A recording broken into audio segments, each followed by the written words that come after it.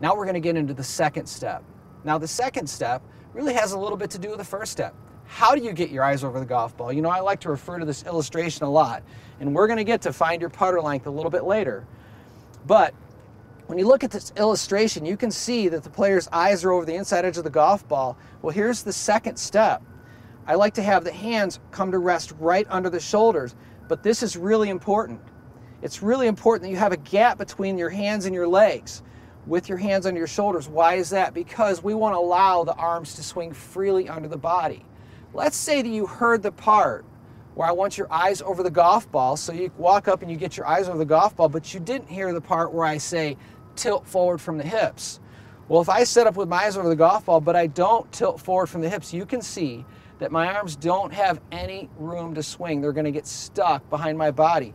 Whenever your arms get stuck in the golf swing, it doesn't matter if it's a full swing or a little scoring zone shot around the green or a putt, whenever your arms get stuck, your hands have to do the work of your arms or your body has to move out of the way of your arms. Either way, it's very hard to be consistent when you're trying to putt. So we want to keep your body quiet and your hands passive. They work a little bit, but not much. But we want dominantly to be your arms working the club back and forth. What does that mean?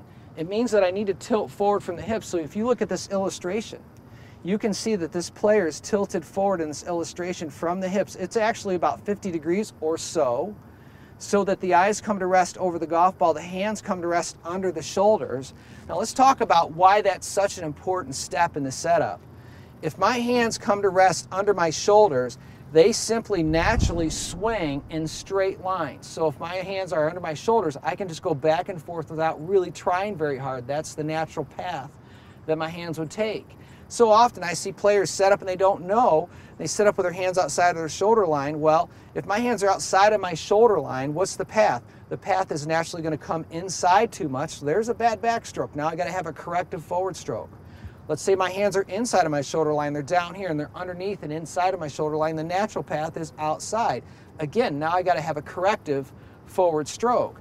But if my hands are just naturally under my shoulders and my shoulders are square parallel to my target line, no problem. I can just swing back and forth and I don't have to fight the path that the putter swings in. That's what I mean by natural. That's a natural path that I don't have to think about. Great putters don't think when they're putting. They look at the hole and they react to the hole. They're not thinking mechanically about their stroke. All right, so that was step two.